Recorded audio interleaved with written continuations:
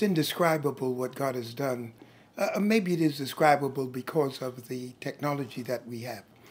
But when you consider that whatever you say today, if it's untaped, if it's videoed, it now is memorialized. And today, I thought it was a sort of epic kind of a day where the Holy Spirit moved in a mighty way. Every power that was against me coming home from Jamaica was in play. And yet still with the storms and with the delays and me coming in at 1.30 or getting in uh, at 1 last night, getting home and into bed at 1.32 to uh, after 2 o'clock. I, it was just an incredible trip. However, God gave a wonderful word, and we didn't memorialize it. For some reason, we had horrible glitches because actually we're not in our home church. We're not in what we have put together uh, technologically and mechanically as a church. So uh, something went wrong, and we didn't do it.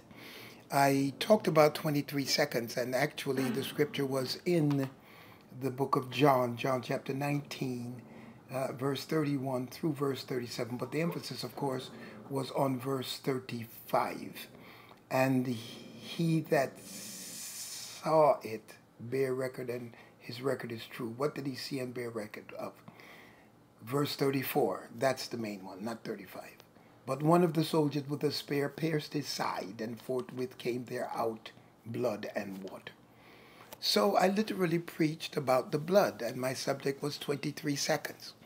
And because we didn't memorialize it, I can't play it tonight.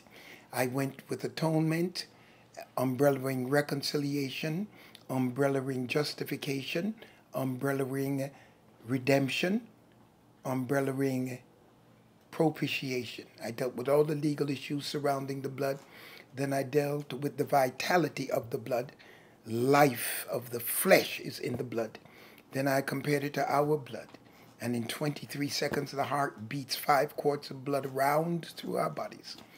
And it's the five quarts of blood that Jesus had in his body that has the power to save everybody who has ever lived, had the power to save them, has the power to save everyone who is living now, and the power to save everyone who will be born.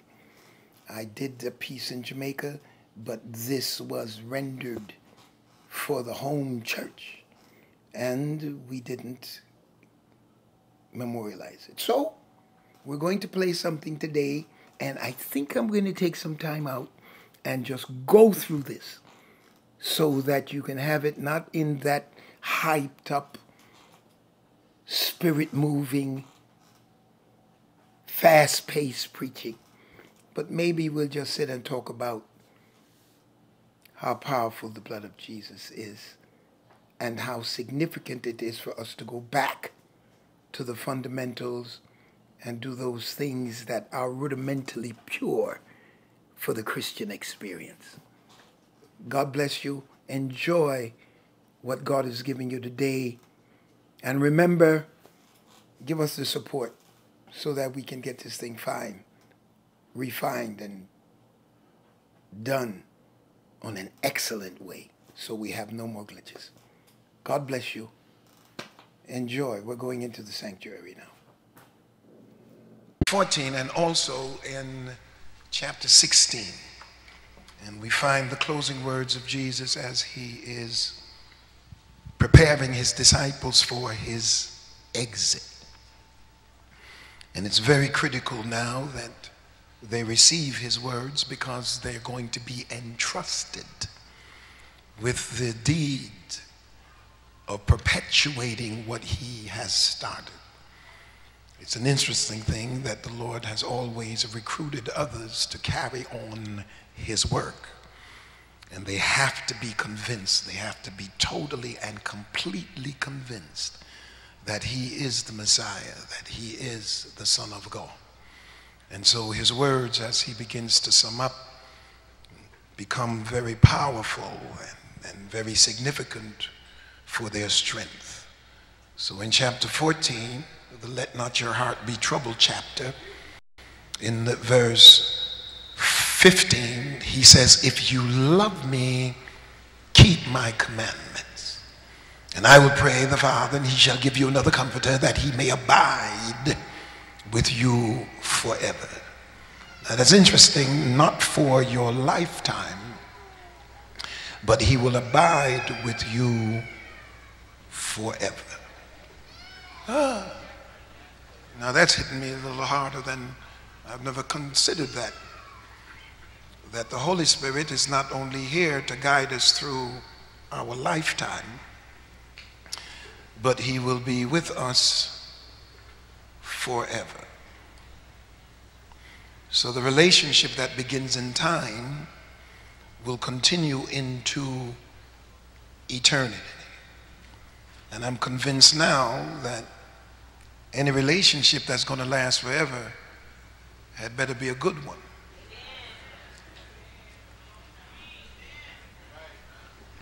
All of a sudden that, that, that thing is hitting me real, that, that's, that's, real, that's real interesting here. Abide with you forever.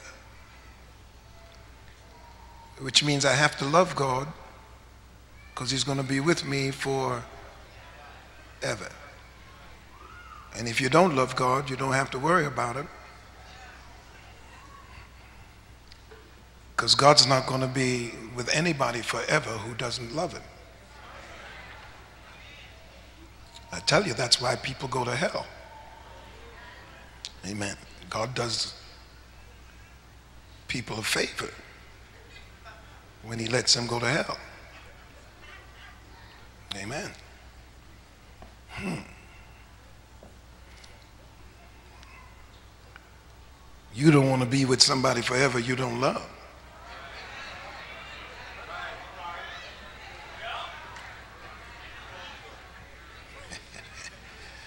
Oh, okay. I only took an aspirin. I didn't take anything but an aspirin a while ago. I, uh, uh, even the Spirit of truth, whom the world cannot receive because it seeth him not, neither knoweth him, but ye know him, for he dwelleth with you, that's the incarnate, and shall be in you. I will not leave you comfortless. I will come to you. Yet a little while, and the world seeth me no more, but ye shall see me because I live. Ye shall live also at that day. Ye shall know that I am in my Father, ye in me, and I in you. I preached that the other day, but it was totally different, wasn't it? Uh, in chapter 16, verse 5, he says, But now I go my way to him that sent me, and none of you ask me, Whither goest thou? But because I have said these things unto you, sorrow hath filled your heart. Nevertheless, I tell you the truth. It is expedient for you that I go away. For if I go not away, the Comforter will not come unto you. But if I depart, I will send him unto you. And when he is come, he will reprove the world of sin and of righteousness and of judgment, of sin because they believe not on me, of righteousness because I go to my Father and ye see me no more, of judgment because the prince of this world is judged. I want you to look at somebody and tell them, I'm comforted by my anointing. Look at somebody else and tell them, My anointing comforts me. Amen. Again, John is, is, is very, very important because he has been strategically placed to bring about a revelatory experience by God for each one of us who reads his writings.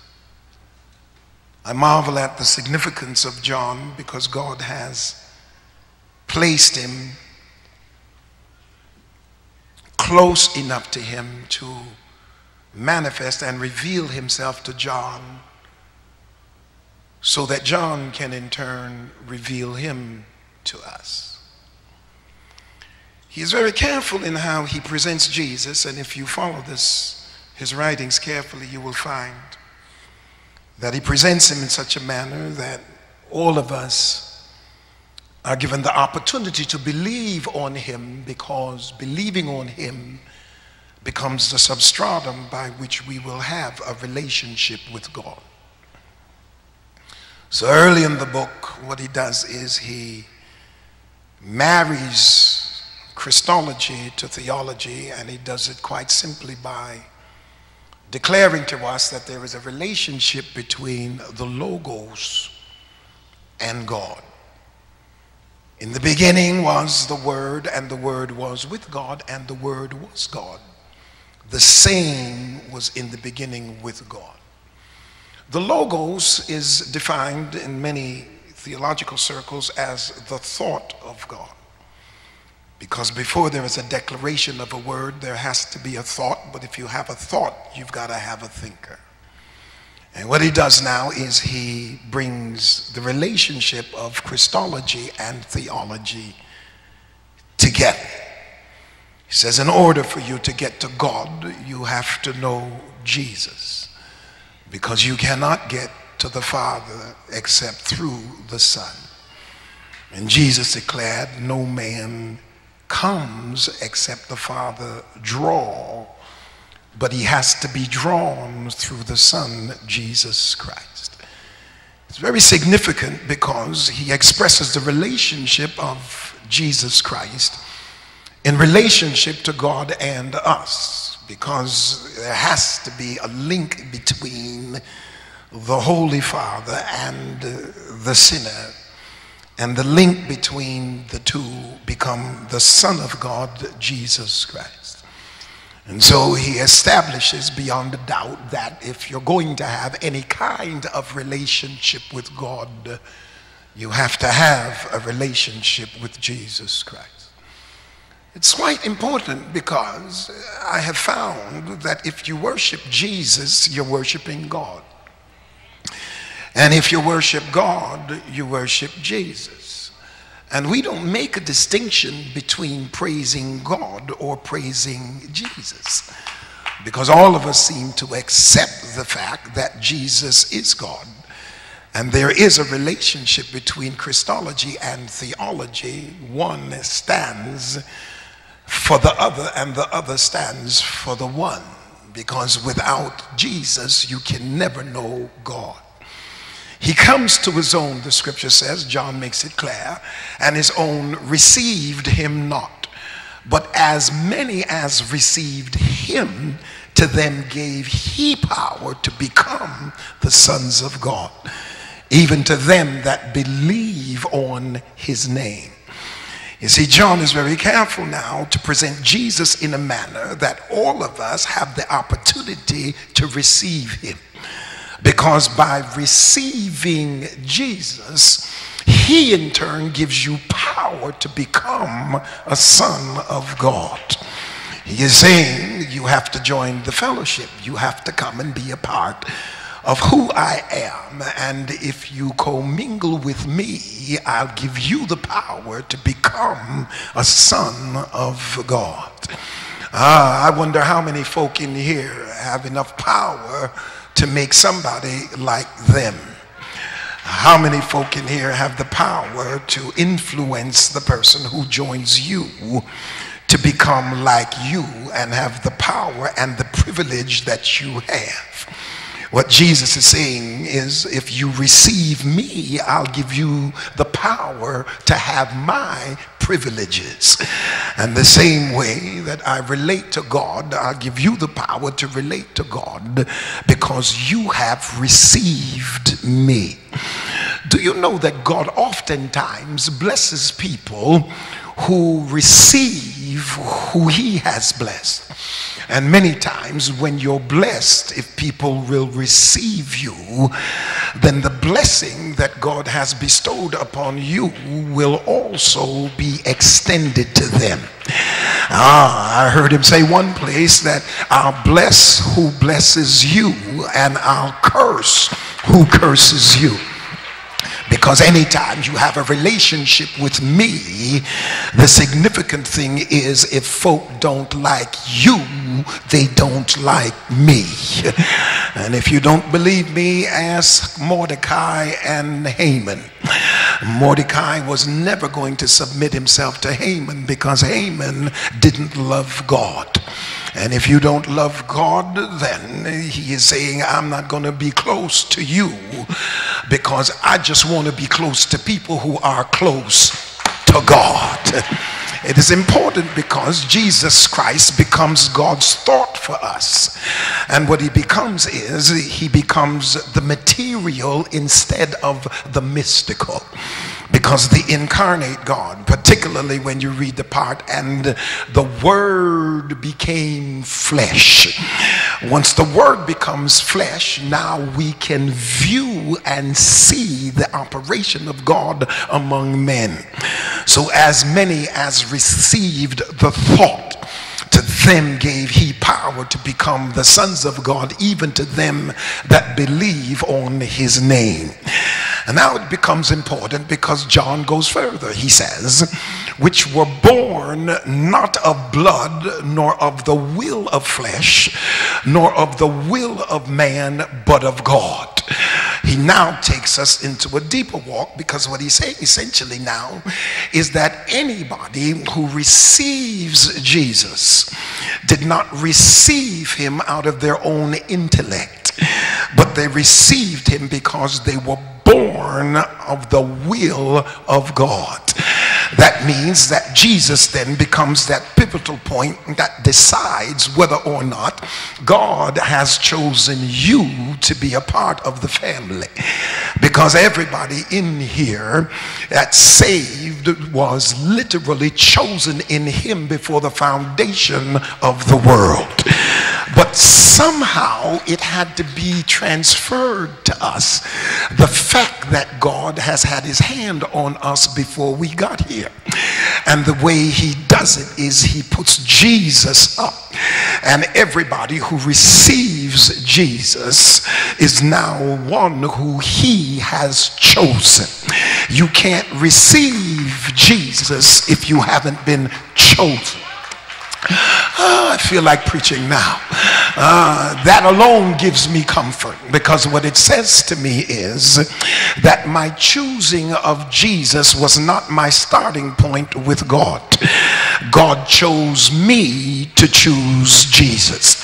So nobody comes except the Father but He is the door by which you entered. He is the way, He is the truth. So when He presents Jesus, for everybody who chooses Jesus, they become sons of God for everyone who chooses Jesus, Jesus knows who he should be with. Oh, let me put another way. I think let me a little too verbose. Uh, Jesus says, Whom do men say that I am? And Peter's response was, Some say, no. Uh, the general response was, Some say, Thou art Elias, Jeremiah, and one of the prophets. Now, Peter's response is, Thou art the Christ, the Son of the living God. Jesus said to him, Flesh and blood did not reveal that to you, but my Father which is in heaven. Which means your intellect didn't do this. The University of Jerusalem didn't do this. Your smartness didn't do this. When you opened your mouth, what came out of your mouth came from the Father. So now Jesus becomes that torn as to whether or not you are chosen by God. And then he turns around and says, Now, since you know who I am, I will give you the keys to the kingdom. Oh, I feel like preaching this. Anytime you know who he is, it releases him to empower you. The only way you are empowered is to know who he is. Oh, upon this rock I'll build my church And the rock, of course, is not Peter. The rock is Jesus. But you've got to know who he is for him to release the keys. If you want keys to victory, if you want keys to power, if you want keys to anointing, if you want keys to salvation, you have to know who I am. I'm not giving the keys to folk who don't know me. I'm not releasing power to people who aren't with me. I'm not going to take folk to the next level who don't love me because you have to know who I am. You have to know who I am. When the trials of life arise, you have to know who I am. When your enemies show up, you have to know who I am. When your sickness comes, you got to know who I am when death is facing you. The key to your walk with God is knowing who Jesus is. And so, consequently, what you've got now is revelation in relationship. And you've got relationship in revelation. And here is where purpose and destiny come together.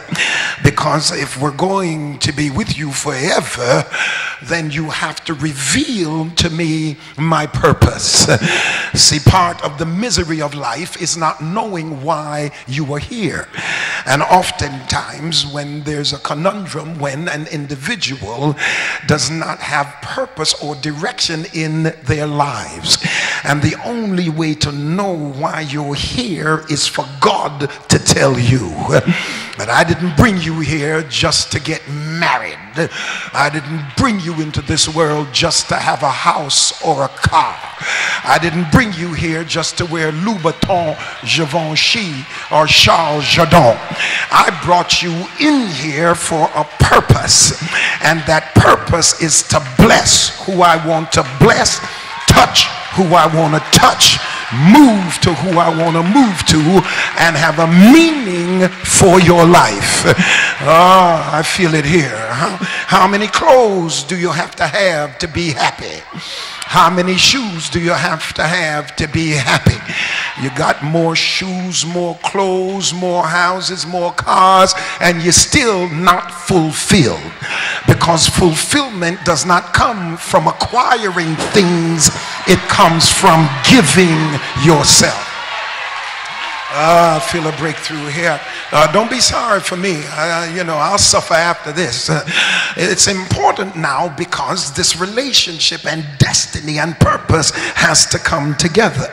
And once somebody understands why God has his hand on me and why he brought me into the world, it gives you a certain comfort and a certain confidence.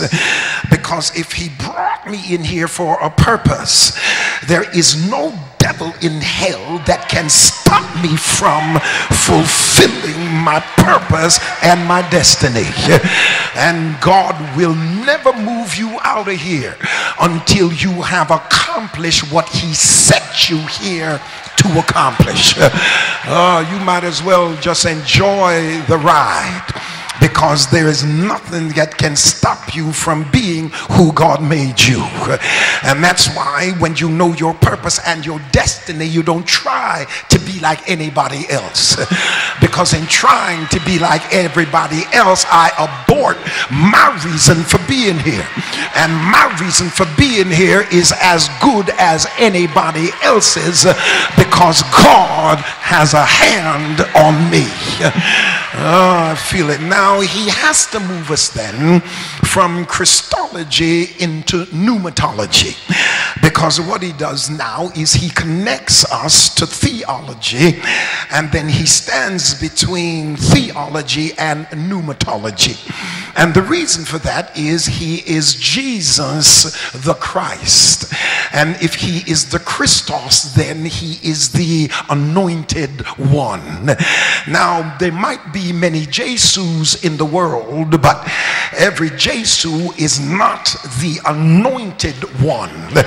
There is something very special about the anointed one because he is on the assignment to release the the anointing into the world. He is different than the prophets because in the prophets, what would happen is the Spirit would come when God had a particular thing for them to do.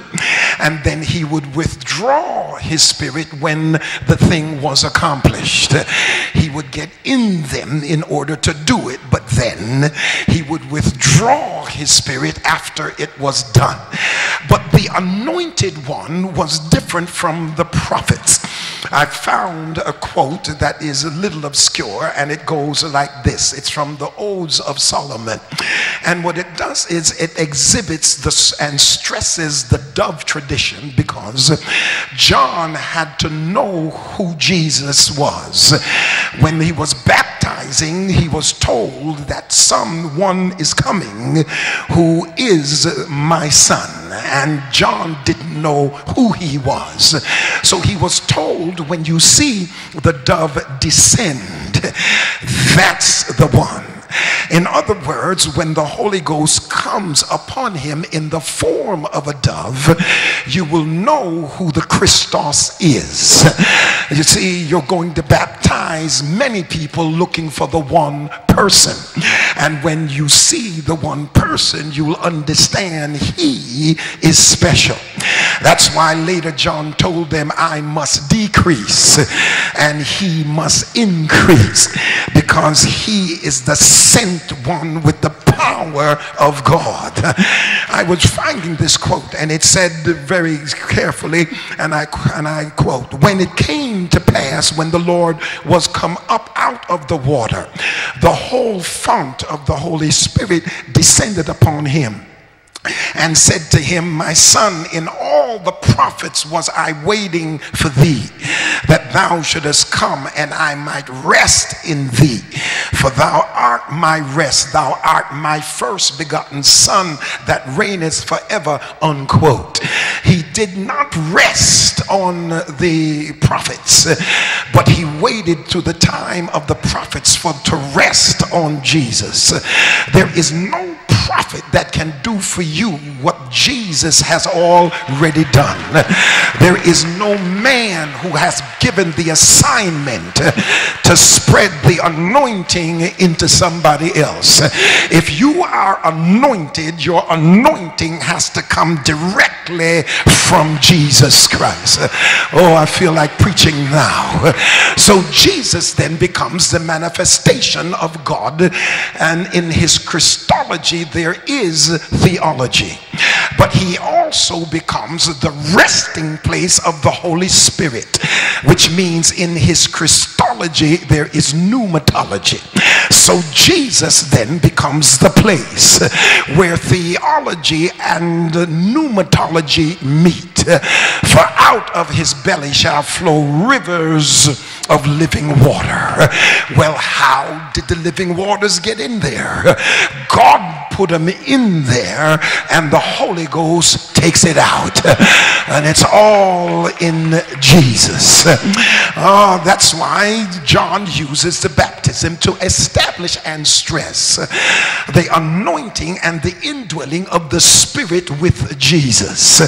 And he's influenced by Isaiah because Isaiah says it this way There shall come forth a rod out of the stem of Jesse, and a branch shall grow out of his roots, and the Spirit of the Lord shall rest upon him. The Spirit of wisdom and understanding, the Spirit of counsel and might, the Spirit of knowledge and the fear of the Lord. Whenever the Spirit of God comes, it brings wisdom.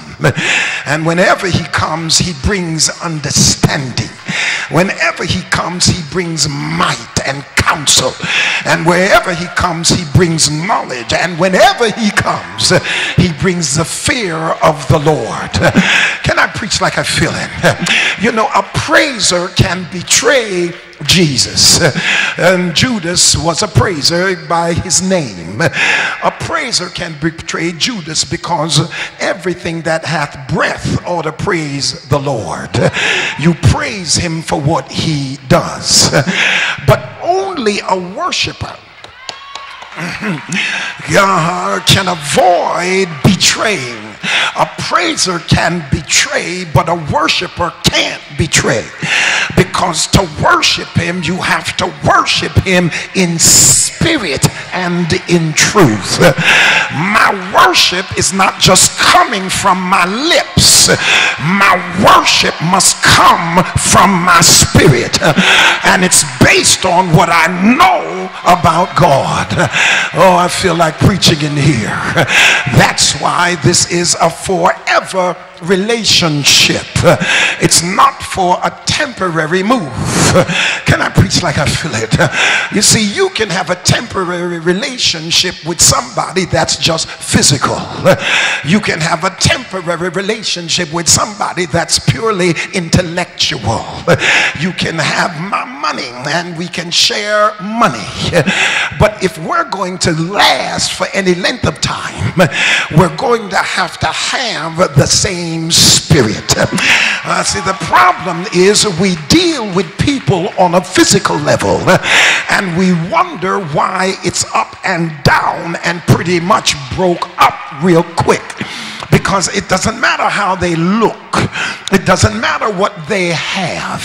It doesn't matter the circumstances of their life. What's going to keep you together is having the same spirit. Oh i feel a breakthrough in here. I feel a breakthrough Mm. Uh, I told him I'm never going to say I don't have a church. I wish I had a church because I feel something in this church right now. Somebody's praying for me. Uh, just pray I get through this. That's all. You've got to understand the same spirit, which means that you need to probe into the spirit of an individual because if we have the same spirit then we can overcome uh, everything that comes our way. Because in order to be one with somebody, you have to have the same spirit.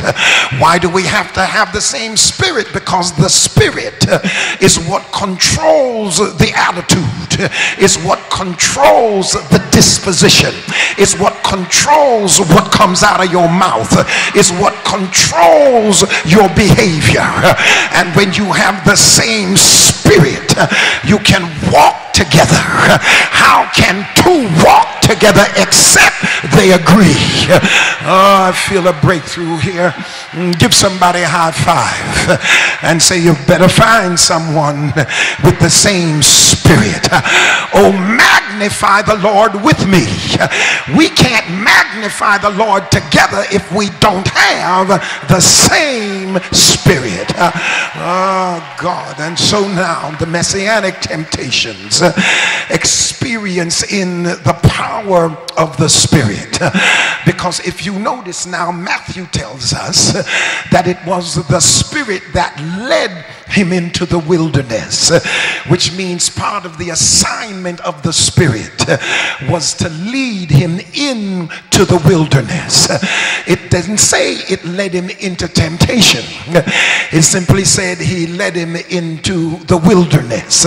You see, God knows the place to put you in order for what's in you to come out.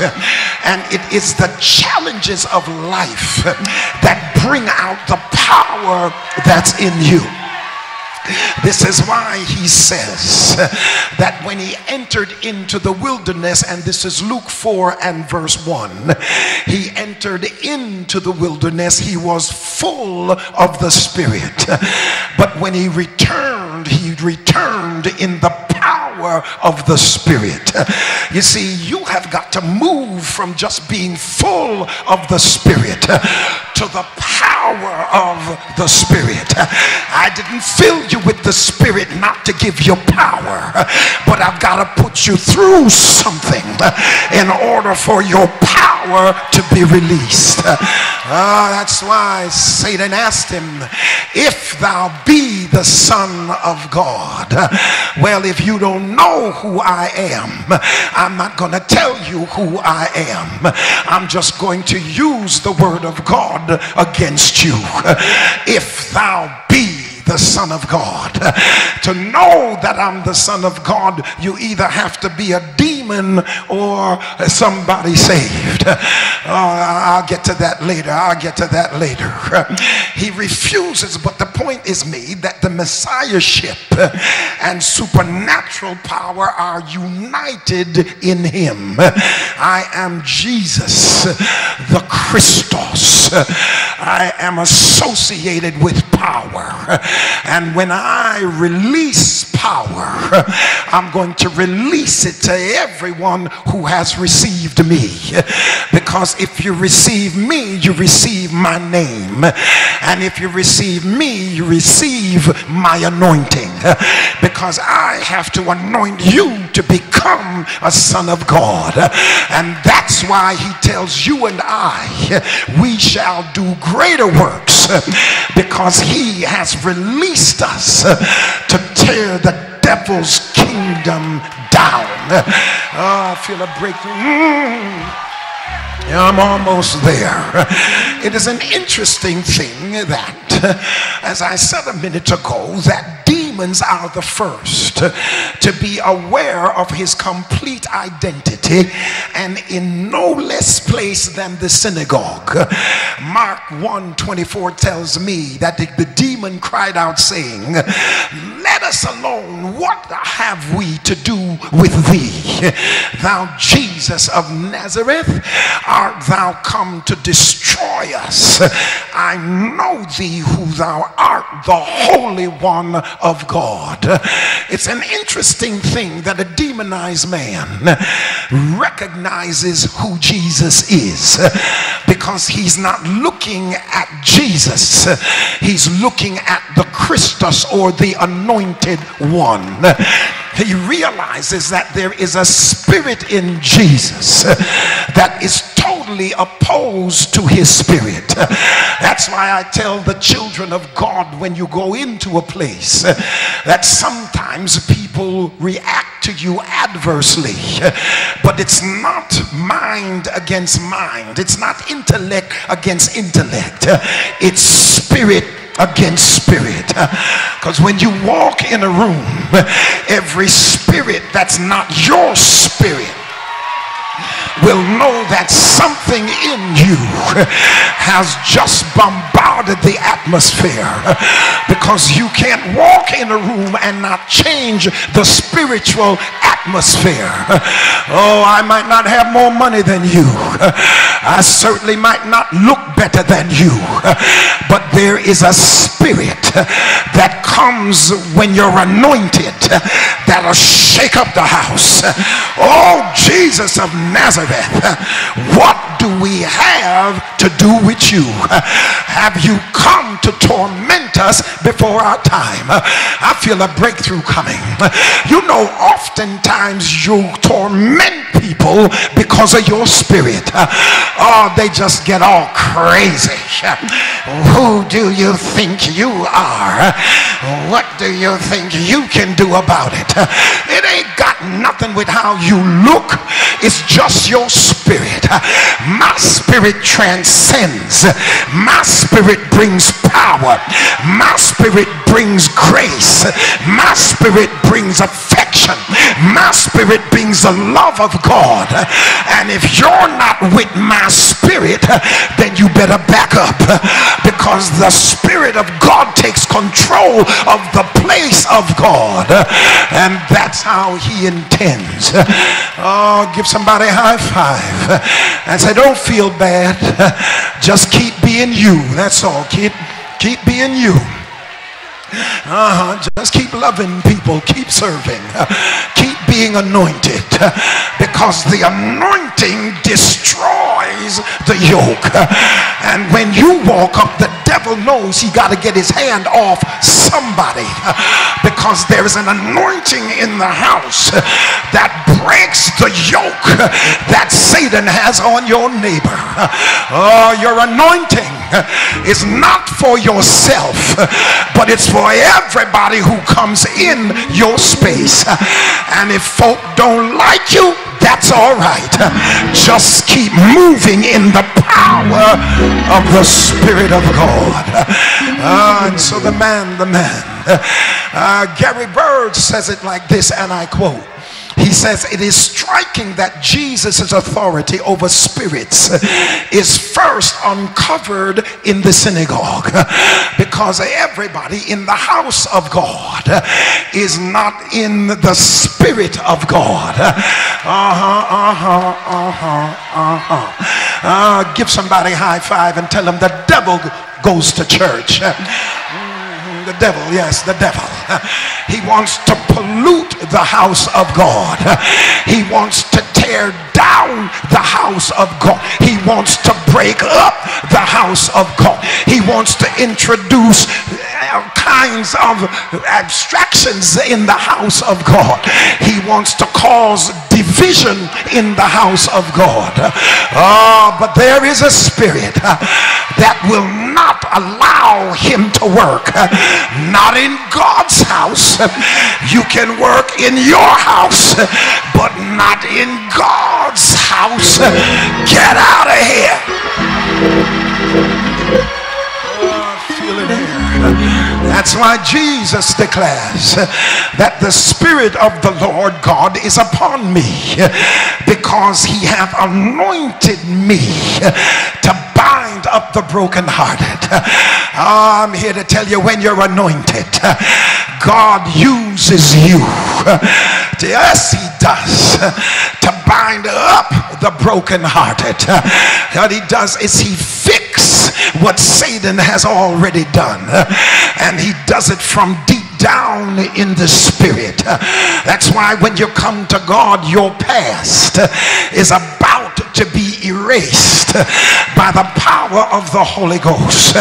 Just bring him the broken heart. Uh, let him proclaim liberty to the captive. That's why I'm anointed. I'm anointed to proclaim liberty to the captive. I'm anointed to opening the prison and releasing folks and proclaiming the acceptable year of the Lord. And then he closed the book. I feel like preaching. He has a way of closing the book. I'm in charge. This is my power. This is my place. And I've been anointed and let the devil rise. Can I tell you this? Every time God moves you to a higher place of anointing, here comes the devil from every side. Uh, but don't worry. There is no weapon formed against you shall prosper. There is nothing the devil can do. Shake somebody's hand like you're going to shake it off and say, The devil might oppress you, the devil might attack you, but he can't destroy you. Ask Job. Anybody got to ask for permission is not in charge. Uh, I feel like preaching. His power was not only to be seen in the extraordinary healings and exorcism, but chiefly eschatological reign. His had to be visible and present. It was not only to see him in action, but it was also in his word. You all might as well rest a little bit. I just got a little more to go. He was a prophet in that he bore the Spirit, which revealed the will of God with unprecedented authority. Because you can't walk in anointing and not walk in authority. Because once you have control over demonic possessions, you have control over the whole place. Can I preach like I feel it? That's why the Lord tells you and I if you resist the devil, he will flee from you. But you don't resist him physically, you resist him spiritually.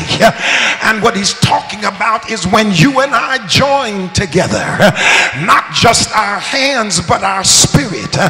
Because when two or three agree, then I am in the midst of them. Because if you and I can join our spirits, then there is no devil in hell that can stop us from marching forward.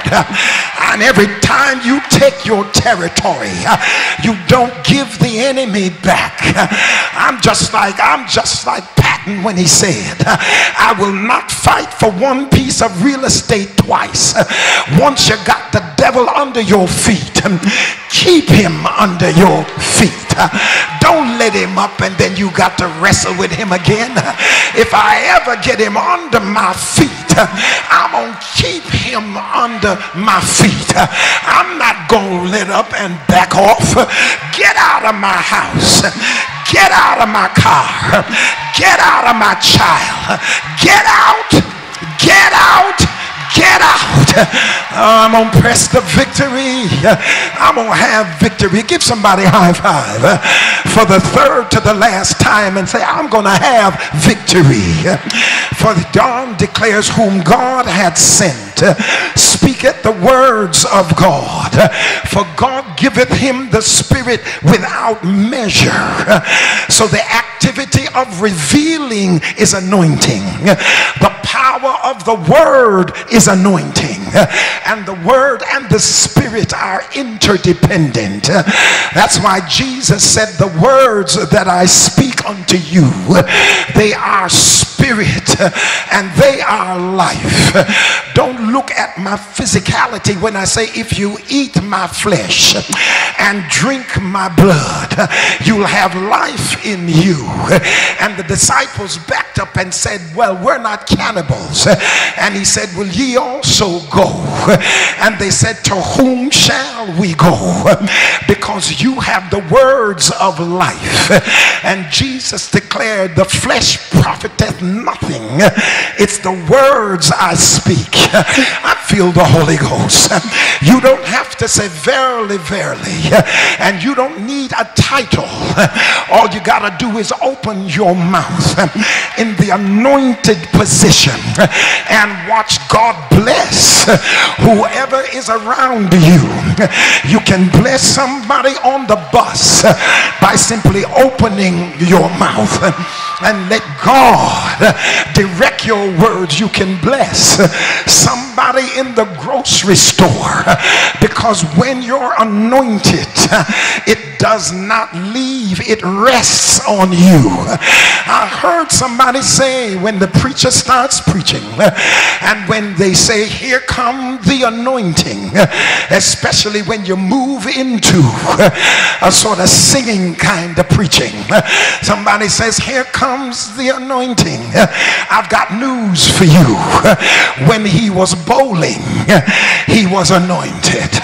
When he was driving up to the church, he was anointed. Because anointing doesn't come and go like it used to, it rests. Oh, I feel it in here it rests on you. And the problem here was that the disciples were object failures, abject, because the Spirit was upon Jesus while it was not yet upon his disciples, because it had to be released outside of Jesus. Jesus, God put it in him, but cross has to release it uh, because Jesus said the Holy Ghost was not yet given because Jesus was not yet glorified. And the word there is doxathemi. That means John collapsed the historical events of the cross, death, resurrection, ascension, and anointing into a single movement of Jesus's life. And he puts him up on the cross. That's why he says, if I, if I'm being lifted up, I will draw all men unto me. I've got to go up on the cross and be elevated like the serpent in the wilderness. When you look at me and receive my death, burial, and resurrection. I will release my anointing because the cross is hanging up to heaven, but it's reaching out to everybody. Not only is it connecting the earth to heaven, it's connecting the world to him. If I be lifted up, I'll draw all men unto me. It's a double meaning here because he lifts me heavenward. And that's why he told Nicodemus the new birth is the consequence of believing the Son of God. This follows ascension, this follows resurrection, and this follows Calvary. And now he can say to us, the paraclete is not merely a post ascension figure, the paraclete is involved in the dynamics of ascension itself. I must be glorified before the paraclete is released. But don't you worry when you see me hanging on the cross. Don't you worry when I go down into the grave. Don't you worry when I come up on resurrection morning. And don't you worry when I ascend into the heavens. I just need you to go to Jerusalem and just stay there till you receive power, power from on high. Because I will not leave you comfortless. I will come to you. Give somebody high five. Said he's already come. He's already back. How do I know? I got him in my spirit. The only reason I'm still here is because he is in me. I feel the Holy Spirit. Ah, I got something I got to give you. Give somebody high five for the second to the last time and said the only reason I'm still here is I got power of the anointing. The only reason I can overcome is the power of the anointing. And God anointed you to bless somebody else. God anointed you to infect somebody else. And that's why the enemy is on your case because he doesn't want you to walk in your anointing because he's scared that you might infect the people around you. He's scared that you might snatch somebody out of his kingdom. But I came to bring life. I feel the Holy Spirit in here. I feel the power of God. And sometimes you gotta hang on a cross until power is released from you. Then folks around you will know that you are a child of God. It doesn't come from rubbing on somebody or shaking somebody's hand. That's anointed. You gotta go through uh, until the power uh, of God is released uh, out of your system. You gotta go through till you can praise him in the middle of trial. You gotta go through till you can worship him when people write you off. You gotta be able to take the mocking, take the jeering, take the hurting. They'll walk on you. They'll mistreat you. They'll talk about you, but they can't touch your anointing. They can't break your spirit. They can't destroy your purpose. They can't back you up. They can't control your destiny. They cannot stop God from using who he chooses.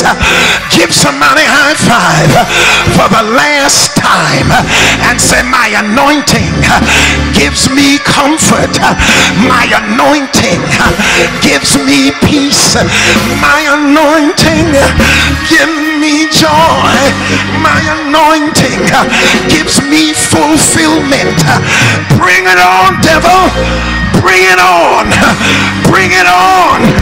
Bring it on. We've got somebody in the house that's got an anointing to defeat the devil uh, on every side. Can I preach like I feel it? I need some more help. Give somebody a high five and say there's anointing that brings wealth. There is an anointing that heals bodies. There is an anointing that opens doors. There is an anointing that leads and guides. There is an anointing. Now ask your neighbor, what's your anointing? What has God anointed you to do? I guarantee he's anointed everybody to bless somebody else. Then bless them. Bless them. Bless them. Bless them. Bless your neighbor. Bless your friends. Bless. Bless. I'm here to bless. Bless. I'm feeling like preaching. Walk out and touch seven people and say, I'm anointed to bless you in many ways. I'm anointed to bless you. My singing will bless you. My preaching will bless you. My giving will bless you. My loving will bless you. My affection will bless you. My helping will bless you. My story, my story, my story. Tell somebody I got a story that's anointed. My past, where I've come from, how he brought me out, how he see me through, how he lifted me up, how he made a way. I'm anointed.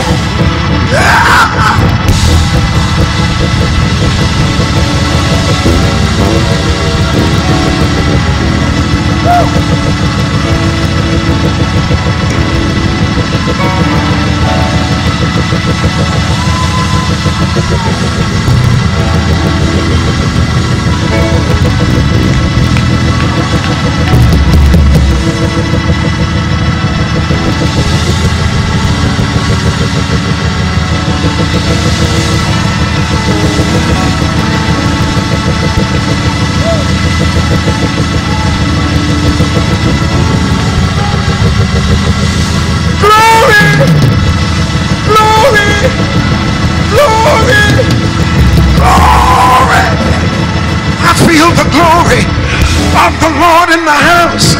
I feel the glory of the anointing in the house. I feel the spirit of the living God. Somebody in here is about to have a big breakthrough. You're not going to break down. You're going to break through. The anointing will break you through.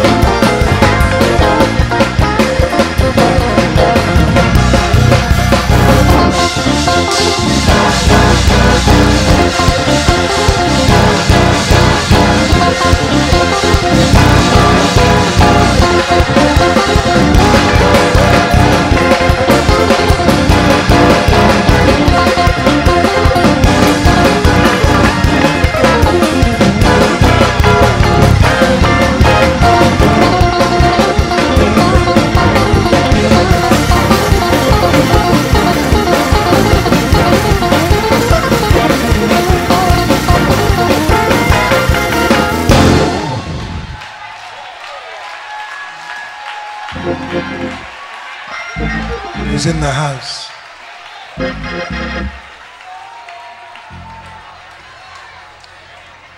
I close, and my word is for everybody in here that God has put a burden on your heart for. Because the anointing is not for you, but it is for who God has assigned you to. And the interesting thing is that oftentimes your assignment puts you on a cross.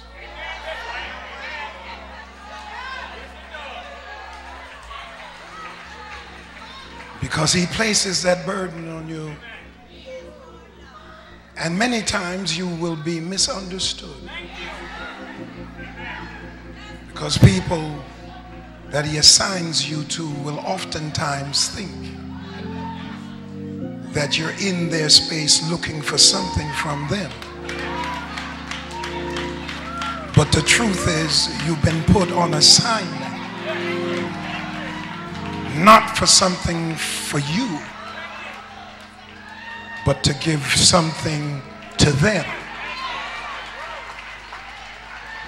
Oh God, I feel it here. And there are times when you'll get weary, but he says, Be not weary in well doing. Oh, in due season you'll reap if you faint not. This assignment is your next level. Oh God, I feel it here. To release what God has placed in you to take you to your next level. So it seems like He's killing you. But I got news for you new life is going to rise out of this pain because I'm not coming down from this cross until the job is done. So hang on in there. Don't let go. This is of God. This is not of the enemy. In all the opposition, hang on in there. Because God has put you on assignment. Somebody in this house, God is calling you.